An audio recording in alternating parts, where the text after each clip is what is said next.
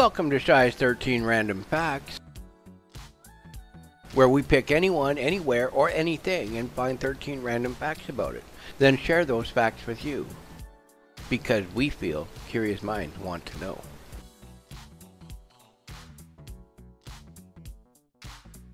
If you have a curious mind about something and would like us to find 13 random facts about it, then mention it down in the comment section and we will do our best to make it happen.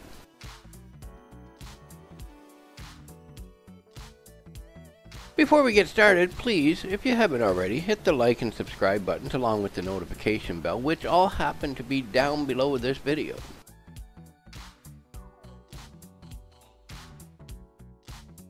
Today we are going to learn 13 random facts about the flower violets. So sit back, relax, and grab yourself something to drink, but hurry back because we are about to begin this thing. Fact number one, the fruits of violet flowers are called capsules, which contain the seeds which fall away from the mother plant. Then the capsules split, resembling an explosion. Cool. Sounds like something I'd like to see. We do hope you are enjoying our daily videos of 13 random facts. If you have any ideas on ways to improve or get better, please feel free to let us know in the comment section below. We really would like to hear from you. Number two, there are between 400 and 500 species of violets, which span across dozens of countries across the world. Around 60 of those species are found in the US, but the most common species is the blue violet. We all have heard of blue violets, I'm sure, from Bobby Vinton's song. Roses are red, my love. Violets are blue, hoo hoo. Okay, I know I suck, so I'll stop singing. Number three, several violet species are also known as pansies. Violets grow in the form of grassy plants and bushes, which can reach 20 inches in length, up to one foot in height. Feel free to share this video with your friends. Let's spread the word and get more people here. Let's help the channel to grow. With your help, we can do it. Number four, Notorious French military man and Emperor Napoleon declared violet his own signature flower and used the blooms to cover his wife Josephine's grave when she died in 1814. It seems the little guy actually had a heart. Who knew? Maybe I need to do a random facts on him in the near future. So keep an eye out for that. Number 5. Illinois and Wisconsin both recognize violets as their state flower. In the state of Illinois, it was children who were in school that voted to make the violet the Illinois state flower in 1907.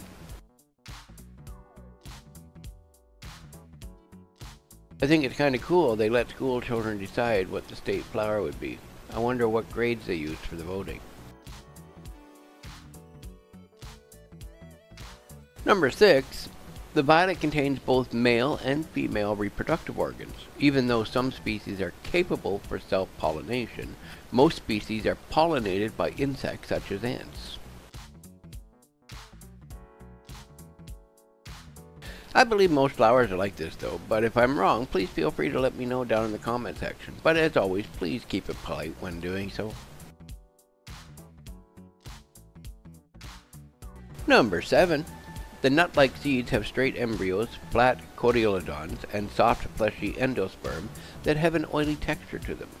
That's just in case you ever come across a little nut and you pick it up and it feels like that, you know what it is. If you haven't been there yet, go check out our other channel, Shy's Daily Trivia. There's some trivia over there that are all about this video here, along with some other subjects to choose from. Obviously, they are not all about flowers, but some are. Number 8. Many people use violets in recipes for a variety of savory dishes, and the petals are commonly coated with sugar and used on cakes, chocolates, and pastries as sweet garnishes. Mmm, -mm good.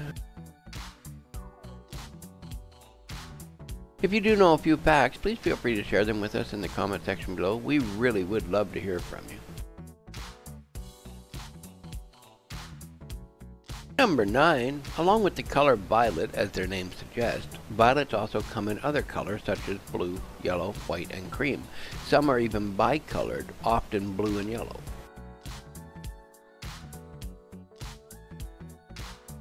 I do love a good mixture of colors when it comes to flowers. They always seem so much more prettier that way. Let me know if you agree down in the comment section. Number 10.